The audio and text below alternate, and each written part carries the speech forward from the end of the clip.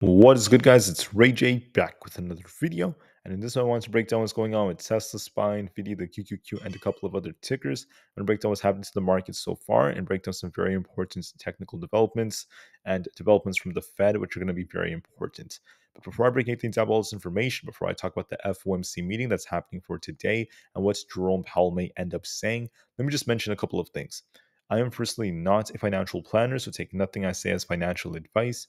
And also, if you guys can, please smash the like button if you want to see more videos like this. It not only benefits me, it benefits the entire community as a whole. So what's going on with the markets? Looking at SPY, we got a nice little pump when we started off. We saw this thing start pumping since we opened. Then it started to cool off. So we hit 422, rejected off that. That's where we have this tight resistance between uh, 421.25 and like 422.5, at least historically.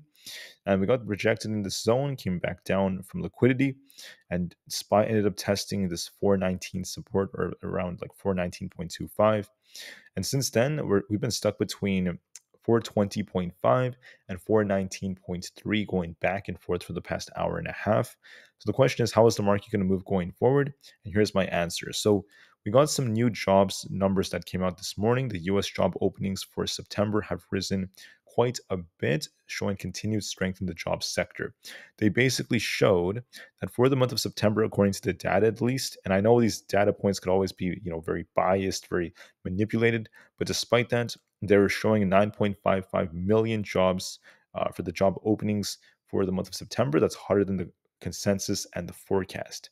That is not what the Fed wants. And at 2 o'clock p.m. Eastern Time, we have the interest rate hike decision coming out.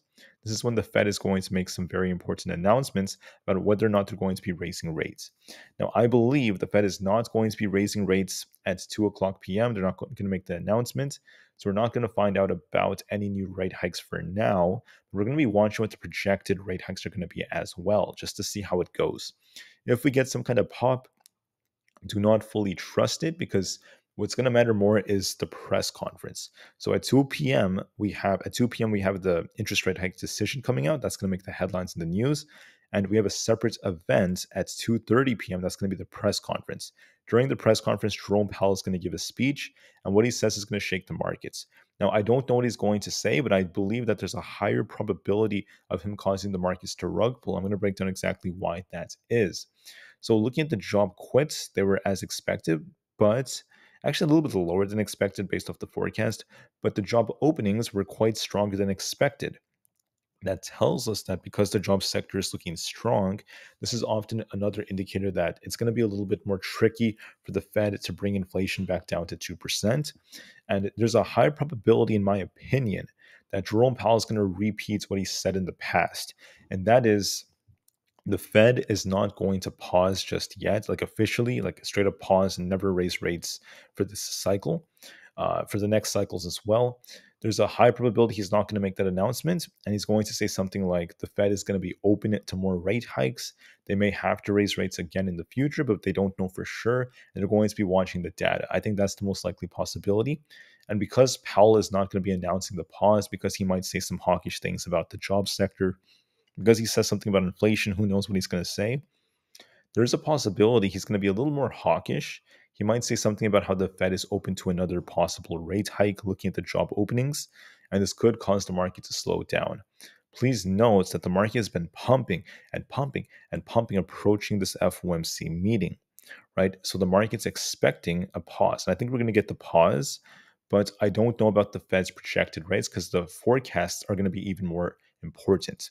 So, just to be clear, watch for some high volatility at 2 p.m. Eastern time. We're going to see if the market pops or not.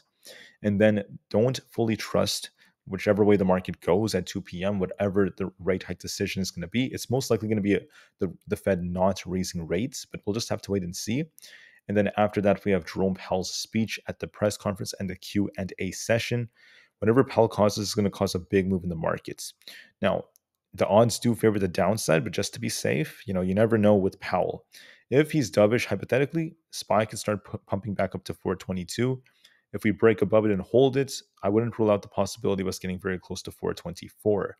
If Powell is very hawkish and says something about how the Fed is open to raising rates again, you know, he could cause SPY to drop all the way back down to 417 or even below that. and maybe even lower than that. He could cause this thing to just continue to sink all the way down. Uh, one risk for the markets is going to be the fact that when you look at SPY, uh, SPY has that unfilled gap, right? The gap I've been talking about in my previous videos. It's all the way back here in the 411 area, I believe. We have this big gap down here, which was formed on the 30th of October. Could we end up filling this gap? Let me just pull this up on the four hours so you can see this more clearly. Are we going to end up dropping to fill the gap that was left down here, or is the market going to continue to push? I don't know, guys. Either way, even if the market does come down to fill this gap, it's just another buying opportunity. I think the market's going to rebound anyways for November, but we could be getting the final rug pull before a big squeeze or not, right? It all depends on what Jerome Powell causes. I am apprehensive, and that's why you want to be open minded just to be safe.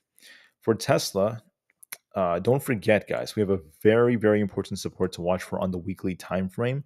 This red line, the 200 EMA at 196 is what you're going to be watching. We want to see Tesla hold above that if we do end up sinking. That's going to be a key support. Now, pulling up the Tesla chart, if Powell causes a rug pull, okay, if Powell somehow says something that's hawkish and Tesla breaks down, if he does that, there's a risk of Tesla coming down to 196. And if that fails us, you know, 193, 190 are all possibilities. If Powell pumps the markets and the market keeps going, Tesla could pump all the way up to about this, you know, 208 area, even 210 is a possibility.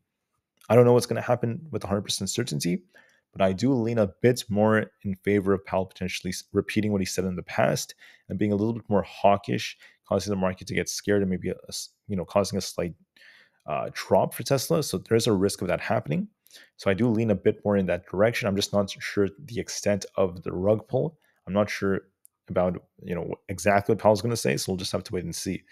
Uh, for the QQQ, I wanted to call out that this has a very similar trend. Now, one concern about the QQQ is the fact that although the market's attempting to balance, I just wanted to call out that the QQQ on the weekly, it's making attempts to bounce, but when you look at the four-hour time frame, uh, this is the biggest one we could look at when it comes to these gaps and stuff. To see the gaps, we have a big gap. There's this big unfilled gap at 345. If Powell causes a big rug pull, if he slams the market down, we could fill this gap. If he pumps the markets, we could see the QQQ going all the way up to 356 or above that. I it, it could really be either way, guys. I, I really don't know.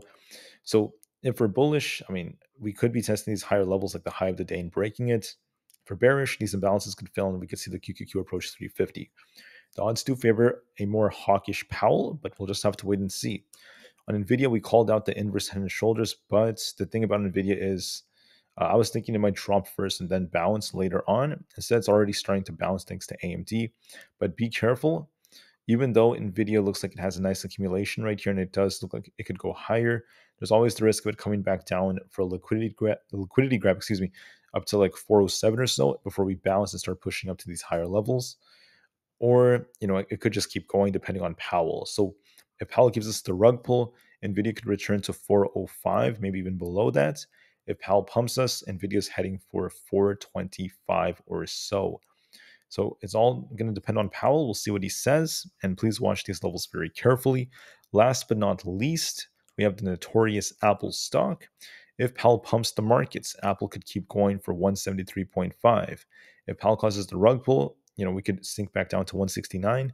We'll just have to wait and see what Powell says. So make sure you're ready for this and make sure you have to do what's necessary. All right, guys, that's it for now. Get ready for some high volatility.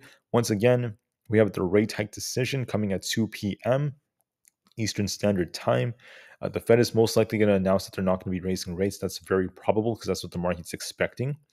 And if you know the, the Fed ends up not raising rates, that's going to be decent for now. But then after that, at 2:30 p.m., we have the press conference, and everything could change depending on what Jerome Powell says. So we'll see what Powell says if he causes some kind of rug pull or not. Just be patient do what you have to do, guys. I thank you all so much for listening. All right. So have a great day, guys. Get ready for some high volatility, and I'll see you guys very soon. Thanks again, and peace out.